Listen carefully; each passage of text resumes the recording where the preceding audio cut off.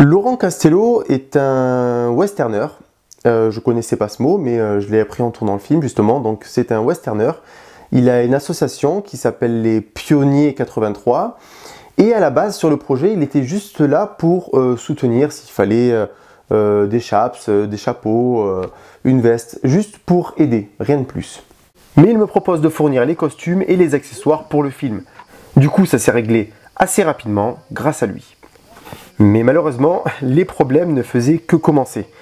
Car quelques jours après le début du tournage, le décor principal nous lâche aussi. Rendez-vous compte que mon film est pratiquement un huis clos.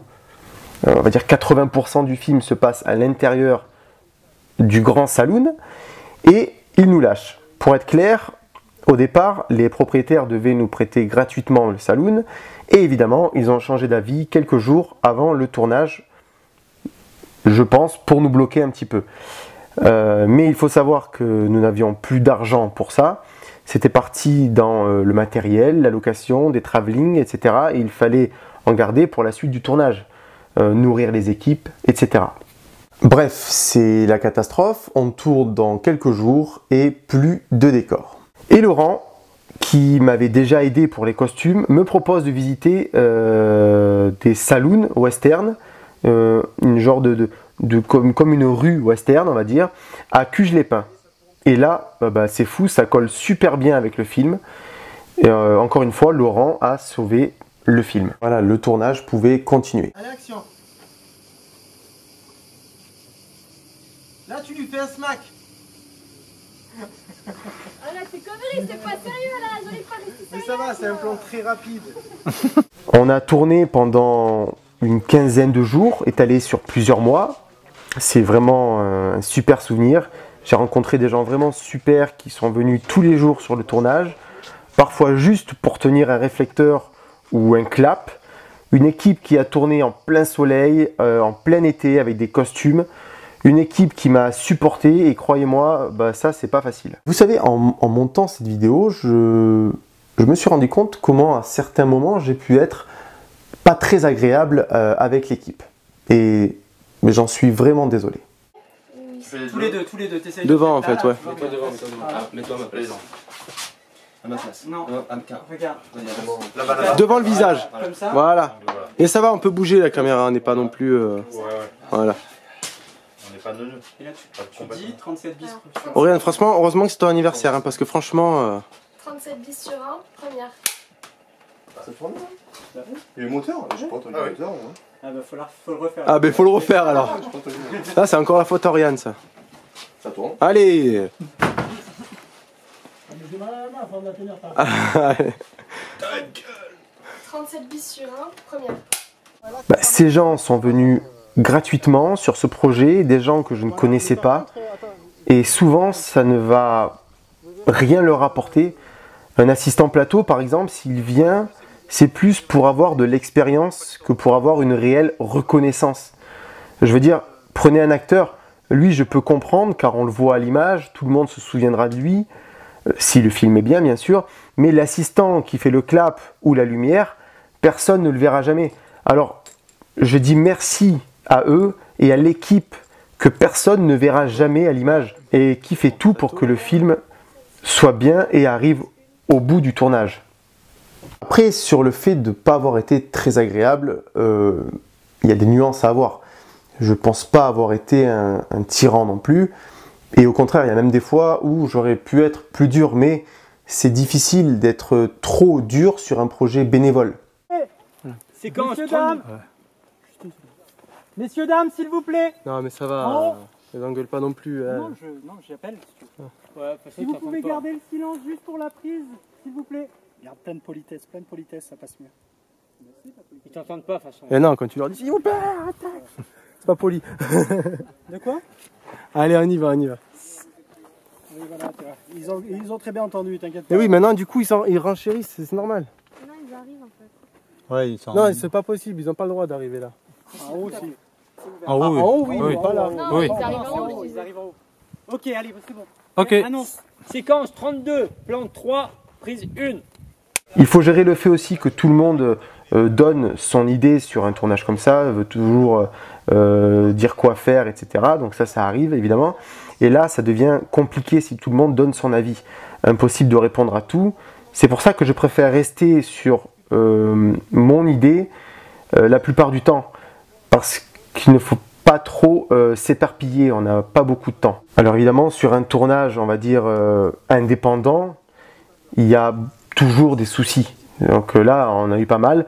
Par exemple, les réécritures de séquences, parce que du coup, le décor a complètement changé, parce que le saloon nous a lâché, donc euh, euh, on a dû écrire de nouvelles séquences, ou les réécrire dans de nouveaux lieux. un acteur, par exemple, qui ne donne plus de nouvelles un jour avant le début du tournage, et qui n'est jamais venu, donc on a dû le remplacer. Des rajouts de séquences pendant le tournage. Le tournage d'autres plans plusieurs années après la fin du tournage, par exemple. Oui, aussi, je pense pas l'avoir dit aux acteurs pour inquiéter personne, mais à cause de la chaleur, une des cartes mémoire est devenue illisible. On était en train de tourner au, Colorado provençal, et en gros, ça voulait dire qu'une journée de tournage était morte. Euh, j'ai pas mal stressé avec euh, Pascal aussi d'ailleurs, mais ça s'est bien fini. Il a réussi à récupérer les fichiers et du coup, bah, heureusement, voilà, le film euh, parce que ça aurait été catastrophique si on n'avait pas pu les récupérer. On a aussi fait du redoublage, des fois en tournée près de routes par exemple, même si les spectateurs ne s'en rendent pas compte, il y a beaucoup de redoublage parce que je voulais enlever les cigales, comme on tourne en plein été euh, euh, dans le sud de la France, c'est vrai qu'il y a beaucoup de cigales et limite on n'entend plus les acteurs. J'ai aussi voulu tourner une séquence avec un des acteurs de New Day, Laurent Cerulli, pour imager une séquence de Dark West, le personnage de Armand Jordani et son frère, mais l'acteur n'a pas forcément voulu revenir, ce que je comprends aussi, et du coup j'ai laissé comme ça, et la scène est finalement encore mieux, je pense, parce que Armand Jordani est un super acteur, et pas besoin d'artifice pour donner de la tension à sa scène, il en donne déjà bien assez. Bref, tout ça n'a pas empêché le tournage de continuer. Il faut comprendre que même si moi j'étais sûr de ce que je pouvais donner euh, en tant que cadreur et de réalisateur, le fait d'avoir des feuilles de PAT, donc de prêt à tourner, etc., un planning, c'était tout nouveau pour moi. Et c'est là où Thomas m'a énormément aidé. C'est marrant hein, quand même qu'il est... Euh... Là, il n'y a pas de temps. Hein. Mets-le au galop. Mets-le au galop, il faut qu'il avance. Là. Il avance, il avance.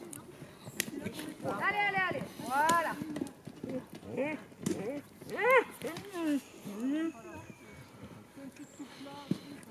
En tout cas, il n'a pas l'habitude, là.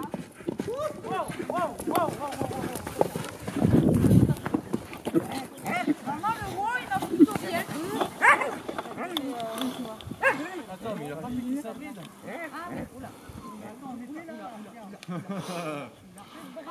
Une fois le tournage fini, personne ne pensait que le montage prendrait euh, autant de temps, même pas moi.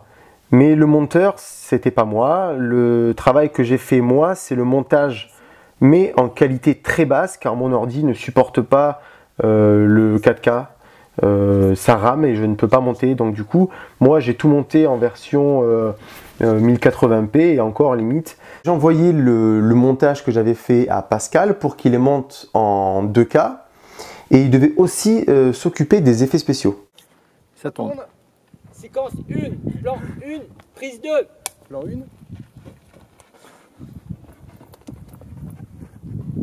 Plan 1, non?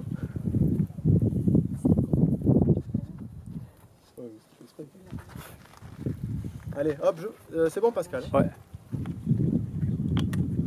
Oh, Mais encore une fois, je ne pensais pas que ça allait prendre autant de temps. Mais Pascal n'était pas payé pour le faire, du coup, il le faisait sur son temps libre. Il avait un travail, du coup, les semaines se sont transformées en mois, puis en années. En plus de ça, le monteur son Florian a arrêté, il a changé de métier. Du coup, Pascal devait aussi gérer le montage son. Bref, euh, au bout de quelques années de travail sur le film, je ne pensais plus voir le film fini. Sans compter qu'on a aussi tourné euh, une autre séquence qui se trouve au début du film, la séquence, on va dire, d'introduction.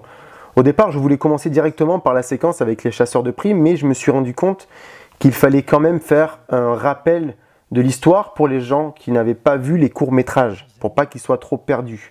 Du coup, j'ai fait appel à Didier Clusiel, avec qui j'avais déjà travaillé avant sur un court-métrage, pour faire l'introduction. J'aime beaucoup la manière qu'il a de raconter une histoire.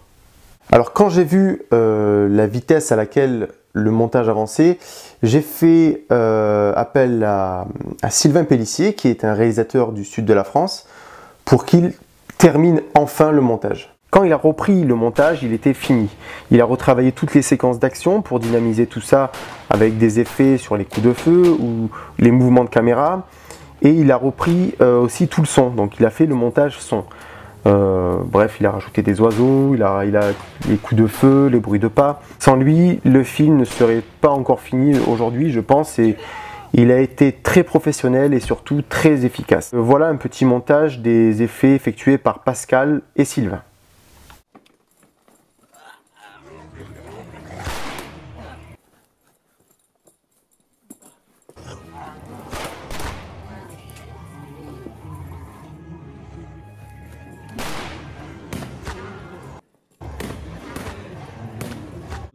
Pas sûr que ce soit une bonne idée de rester dehors.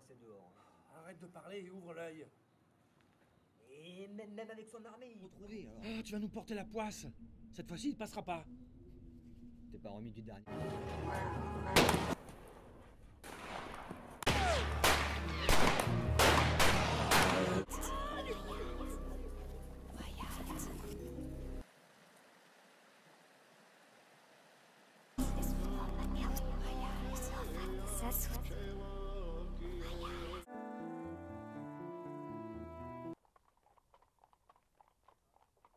Une fois le montage enfin fini, euh, au bout de tant d'années, euh, Emmanuel, Emmanuel Cavallo, le compositeur, a pu enfin terminer les musiques.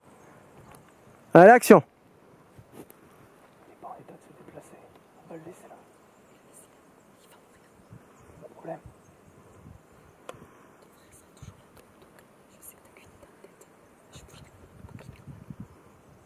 Je suis désolé, on va la refaire. Toi, t'entends bien ce qu'ils disent? Brice, Brice, ça va Ouais, ouais.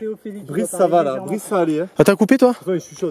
Et ça y est, euh, 4 ans après la fin du tournage, le film est enfin visible. Et vous ne vous rendez pas compte du soulagement de voir enfin ce film fini.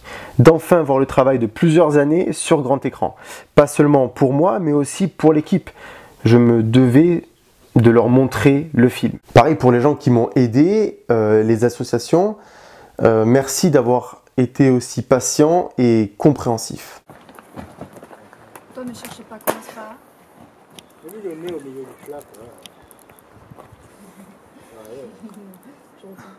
Allez, bien le silence s'il Ça vous tourne. plaît. Et moteur. Ça tourne. Ça tourne aussi. T'as pas trop les voix là-bas Bah c'est pas ça des voix non? Ça fait des gens qui, qui parlent. Oui. Pourquoi Non c'est pas. Allez AD20 sur un, première. Ça veut rien dire mais. Allez, viens là. Le mot de la fin, c'est que je suis vraiment fier du film, de le montrer aux gens. Euh, Je suis conscient de ses points forts, mais aussi de ses faiblesses. Je suis aussi conscient des erreurs faites pendant le montage et je pense que sur les prochains projets, je ferai plus attention. Merci à vous d'avoir regardé ce reportage. Euh, J'espère que le film vous plaira.